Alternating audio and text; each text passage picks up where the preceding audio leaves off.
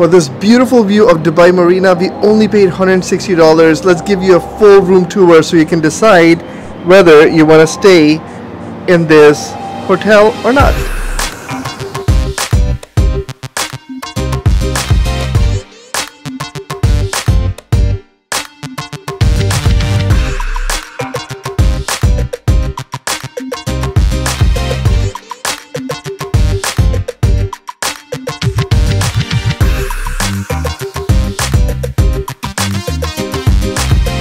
Let's give you a full tour of this uh, hotel room. It comes with a full-on kitchen. There are uh, plates and pots and pans here, you know, as well as I think anything you need to cook. You just gotta bring your own groceries, a stove, microwave, fridge. They do give you a free water bottle here.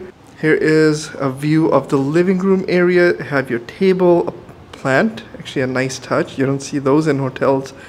Um, you have your TV, a place for storage, a sofa bed for the kids, and a luggage rack. White lights, I actually don't like them.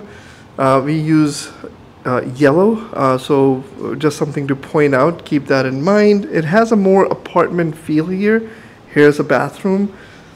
They do give you amenities like your toiletries, your lotions and shampoos and shower gels and kits and shaving kits uh, and whatnot.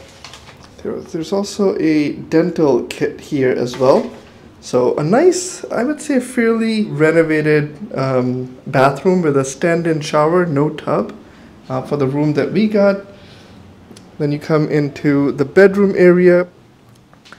We'll show you guys uh, this room in a little bit of daylight so you guys can have a better idea. We actually recorded this whole thing and then realized none of our sound got recorded, so we wanted to show you with some live sound. There is some closet here, so a lot of space. This hotel kind of reminds me of a place where you want to come and stay for a few weeks. Your ironing board, your iron, a safe, and your slippers here as well. Here's your second water bottle, again with the sign it's complimentary. Your drawer, a lot of electrical outlets. Uh, they did leave a box of chocolate here on the bed with compliments. It's like little touches like these that explains how uh, Royal Regency Suites has a 9.0 rating on Booking.com. We got this hotel for $160 um, a night in, in Dubai Marina. I think it's a pretty um, decent deal. Now, if you do come here expecting you're going to get this nice hotel feel, it's not a chain hotel, so you may not get that feel. It has a little bit of apartment vibe going, you know, with the live plants and the white lights and stuff. So keep that in mind. Ali, I was just telling them we actually made a whole tour of this place with no sound. The mic wasn't properly plugged in. So we can actually drop some footage of daylight as we were walking around because now it's nighttime, so you can't really see. But one of the best things about this hotel is the balcony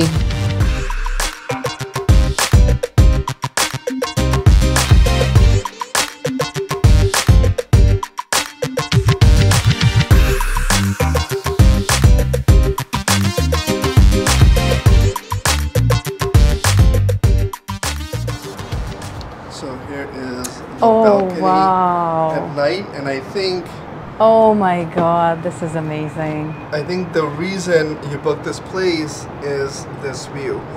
We did pay five dollars more for a room with a marina view. You can also get a view looking the other side, which um, on the Booking.com site I noticed was a view of the road, but we wanted a marina view. So make sure you scroll down with room options and pick a marina view room. They also have a dining menu. Uh, it's open from 11 o'clock. Uh, you can check out the menu prices here. Kids meal are about 30, fruit corners about 48, and some of the big dish- dishes like pastas about 60. So I would say fairly reasonable, but they do close at 10 o'clock. It's a restaurant um, right here inside the hotel. I think this is a good place for $160 a night. Yep. Plus, it validates the, the rating that it got, which is 9 out of a 10 on booking.com. do come here knowing that this is what you're gonna get. If you're thinking of a hotel feel, that consistent Hyatt or Marriott feel, you're not gonna get that here. It does have an apartment feel. There's only a few rooms uh, in on each floor. Uh, I think this is where we are. There are balconies on uh, the corner rooms. There's 26th floor in this building, but we are on 18th floor. Now on our way out, we're also going to show you the hallway view, the elevator, and the lobby. So this is the hallway. Some room says premium and sub says super premium. Again, the staff is really, really helpful here. Thanks so much. This is your elevator. The whole place smells like Even the parking lot smells nice. It smells like flowers. smells like flowers, yeah. Yeah. So the hotel has 25 floors. It has a swimming pool on third floor, a gym and a restaurant on the first floor, laundry on G floor, and that's where reception as well. This is your lobby. It's a pretty small lobby, but a couple of sofas here, and that's your reception desk. So we're gonna head out. Uh, they have a couple of benches and chairs right in front, and we're, gonna show you. There's a few restaurants and stuff on the side. So they have a Oko restaurant right underneath the hotel. The Oko Lounge, and you can see the hotel tower up top. Okay, so from the tower, you come down. Uh, we parked our car, and then the nice gentleman told us that the marina is right down here. So let's go for a walk, show you guys around the marina, and uh, give you guys another reason for, you know, picking our hotel as an option when you come to Dubai. So that's the walkway, and then you come here and check this place out. On this direction is Address Dubai Marina. Um, then on the other side is City Premier, La Verda. Look at the yacht going with party music playing. Okay, this definitely has Miami vibes.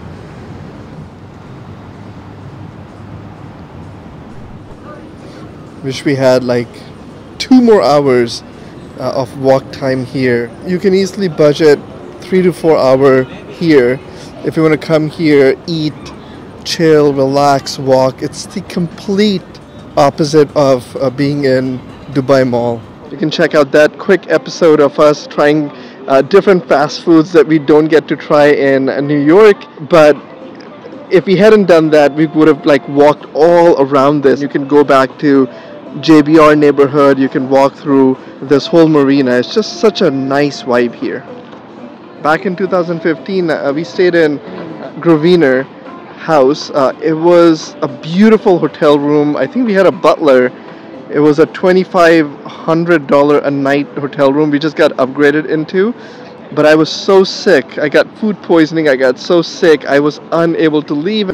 We stayed at Meydan, Emirates, Towers, and Oberoi. My favorite from a service per, uh, perspective was Oberoi. From a balcony view perspective was Meydan because we woke up in the morning and that's the hotel that's uh, built around a horse race course and so you can wake up at 5 a.m. and see uh, horses racing. So that was pretty cool. My favorite was, of course, the Emirates. Emirates Towers, and each of those hotels, the buffet breakfast was incredible. Unbelievable. So we have stayed in quite a few really nice, I would say, uh, some of the best hotels in Dubai. Probably not some of the most expensive rooms, but some of the best hotels in Dubai. And so we have a little bit of experience in staying in Dubai, but we have never paid more than $200 a night. And so finding a room right here for $161 was actually a very good deal, uh, especially on a last minute like um, us arriving at the airport today and we were standing in immigration line looking for a hotel room real quick and, and booking it. So hope you guys enjoyed uh, this quick uh, tour of Royal Regency Suites Marina and you can decide if you want to come stay here. You get access to this without heading out. It's midnight. We have a flight early in the morning to catch, but we're going to make a whole episode on Dubai airport and, and walking around it. Catch you guys in the next one. Bye for now.